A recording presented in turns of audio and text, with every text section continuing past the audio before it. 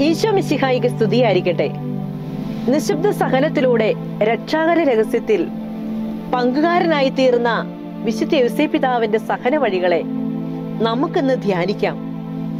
അദ്ദേഹത്തിന്റെ സഹനങ്ങൾ വൈകാരികം എന്നതിനേക്കാൾ ആന്തരികവും ആത്മീയവുമായിരുന്നു.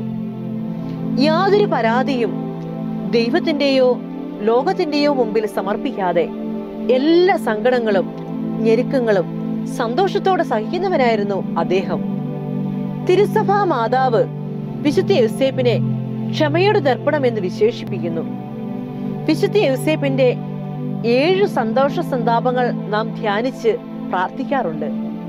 അതുമായി ബന്ധപ്പെട്ട ഒരു സംഭവം ഇങ്ങനെയാണ്. മുന്നൂറോളം യാത്രക്കാരുമായി സഞ്ചരിച്ച ഒരു കപ്പൽ ഹോളണ്ടിലെ തീരക്കടലിൽ മുങ്ങിപ്പോയി.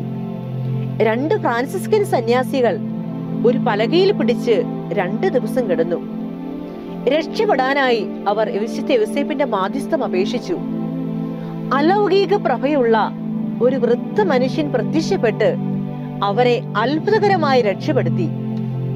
വിശുദ്ധ പാതിരി പ്രിയോ ഇപ്രകാരം സാക്ഷ്യപ്പെടുത്തുന്നുണ്ട്.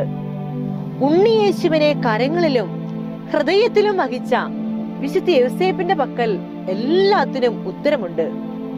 ഇന്ന് ആധുനിക ലോകം വെല്ലുവിളികളുടെ തരംഗങ്ങൾ ഉയർത്തുമ്പോൾ പ്രതിസന്ധികളിൽ ശാന്തതയോടെ സമചിത്തത കൈവടിയാതെ ദൈവഹിതം നിർവഹിക്കേണ്ടത് എങ്ങനെയെന്ന് വിശുദ്ധ യൗസേപ്പ് നമ്മെ പഠിപ്പിക്കുന്നു.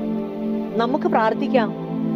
തന്റെ സൂക്ഷ്യത്തിന് ഭരമേൽപ്പിക്കപ്പെട്ട കുഞ്ഞിന്റെ ഉടമസ്ഥാവകാശം തനിക്കില്ലെന്നും വളർത്തുവാനുള്ള നിയോഗം മാത്രമേ തനിക്കുള്ളൂ എന്നറിഞ്ഞിട്ടും ദൈവനിയോഗത്തിന് ജീവിതം സമർപ്പിച്ച പുണ്യപിതാവേ സഹന വഴികളിൽ മുന്നേറുവാൻ ഞങ്ങളെ ശക്തിപ്പെടുത്തണമേ. ആമേ കൈപിടിച്ചിടണേ